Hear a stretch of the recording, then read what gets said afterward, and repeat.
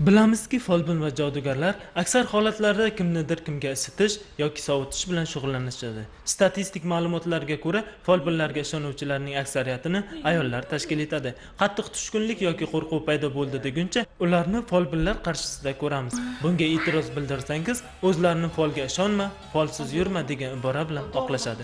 Xo'sh agar fol va joduga ilmiy tomondan nazar tashlaydigan bo'lsak ular nimalarga qodir?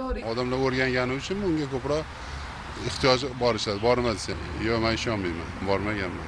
Va moshenniklar ayniqsa bozorlarda folbinlarning soni juda ham ko'p. Ular yoningizga kelib baxtingdan ochaymi taxtingdan ochaymi deb holi joningizga qo'yishmaydi. Parklarda yurganingizda esa to'ti ushlab yurgan folbinlar mana shu qog'ozchani tortsangiz hayotingizda tub burilish yuzaga keladi deb insonlarni aldashga tushadi. Agarda folbinlar birovni baxtini ochib berishga qodir bo'lganida birinchi navbatda farzandlarini baxtli qilishga urinmasmidi? Insonda o'yincha miya yarim sharlari ham faoliyat yuritadi. Ularni ikkalasi ham umuman boshqa boshqa faoliyatga insonga javob beradi. Bizda o'ng miya yarim sharlari ko'proq faol ishlasa bunday insonlarda hissiyotga beriluvchanlik ta'sirchanlik tushkunlikka tushish kabi holatlar yuzaga kelsa aksincha chap miya yarim sharlari faol ishlaydigan insonlar ko'proq aql idrok bilan ish yuritishadi ular hisob kitob aniq faktlarga asoslanib ish faoliyatini amalga oshirishadi. Oxirgi paytda insonlarda o'ng miya yarim sharlarini faolligi judayam ko'plab yuzaga kelmoqda.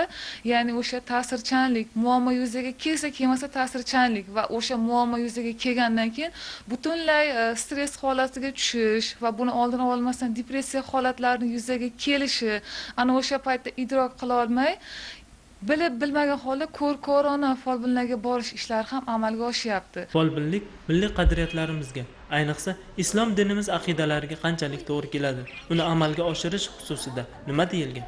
Dinimizda folbinlikka qarshi ayovsiz kurash e'lon qilingan.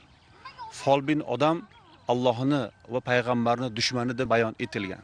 Muborak hadislardan birida kim folbinning uyiga borib xonadoniga borib uning aytgan so'zlarini tasdiqlasa muhammadga nozil bo'lgan narsaga ya'ni qur'onga kufr keltiribdi deganlar. Folbinni eshigiga uyiga borgan odam 40 kunlik namozini savobidan mahrum bo'lyapti. U hali hech narsa so'ramayapti folbindan. Nimadir so'rash maqsadida boryaptida albatta. Demak shuning o'zi bilan u gunohga botyapti namozining savobidan mahrum bo'lyapti. Endi kirib folbindan nimadir so'rab ishini bitirishga urinadigan bo'lsa alloh asrasin dindan chiqish xavfi bor. Bu kabi nayranglarga aldanib qolmasligimiz uchun avvalo hushyor bo'lishimiz qaror qabul qilishda esa birovlarning fikri bilan emas balki o'zimizning ong va tafakkurimizga tayanishimiz kerak. Zero har bir inson o'z hayoti uchun o'zi javobgar.